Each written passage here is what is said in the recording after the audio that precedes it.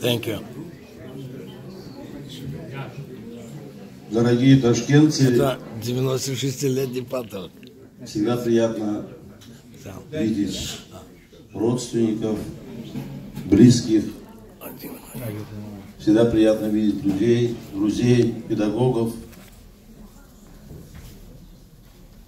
Но очень грустно видеть вас на Ишуо, на поминках, на похоронах. Очень хочется видеть вас на свадьбах, на бритмила, на бармицвах, улыбающихся. Вы знаете, наше старшее поколение, я беру не поколение моего отца, поколение моего деда.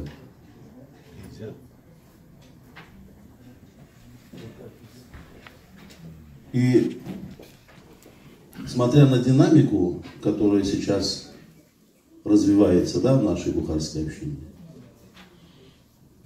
мне и грустно, и очень радостно, что у нас есть такой великолепный обряд и обычай Юшло.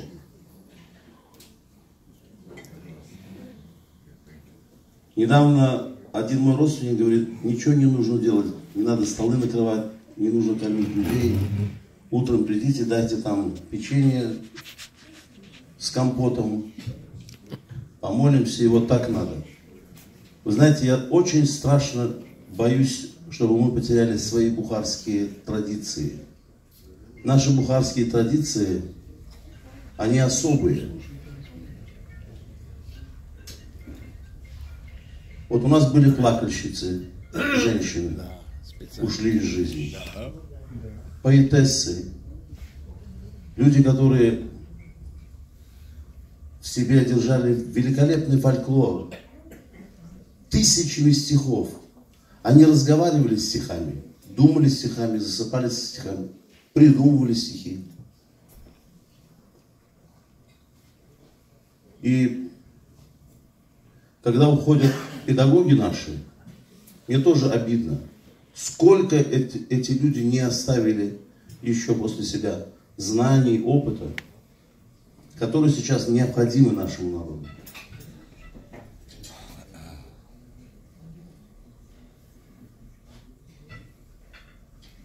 Но дядя Давид и Йосика папа, Да. Бениамин, это наше старшее поколение. И я думаю, что эти люди умели прощать. Прощать очень тяжело. Человека простить очень тяжело, особенно еврею.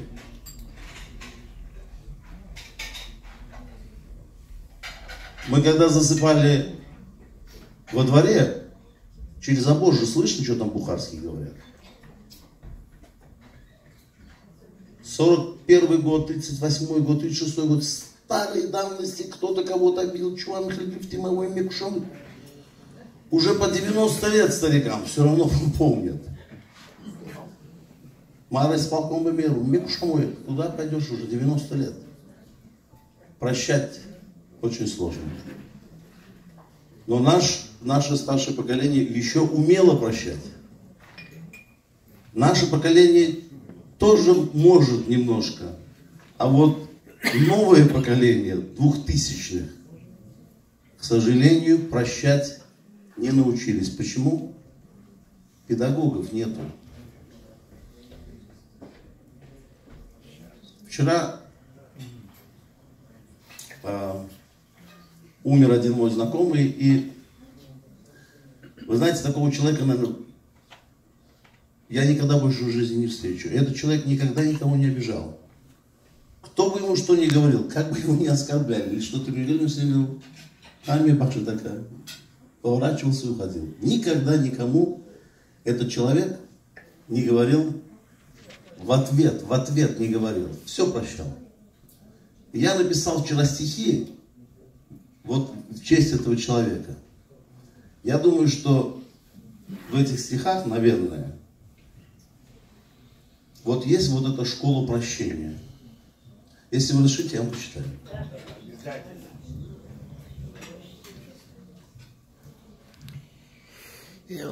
Я прощаю людей, кто ворует, обдумав. Я прощаю всех тех, чей девиз – это зло. Я прощаю всех тех, кто убийство задумал, кто еще не убил, но убьет все равно.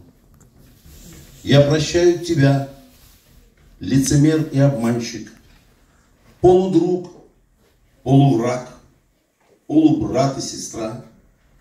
Я прощаю тебя, сплетник, ябеда, склочник, за вранье, за ехидство, за злобу и страх. За измену прощаю я женщин упавших и мужчин, что семью отпустили в запас. Я прощаю детей, маму с папой предавших и предавших детей. Я прощаю сейчас. Я прощаю надменных, невежд горделивых, должника, что как змей укусил и притих.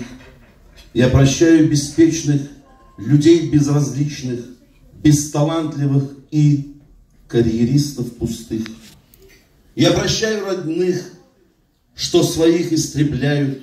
Я прощаю друзей, тех, кто предал меня.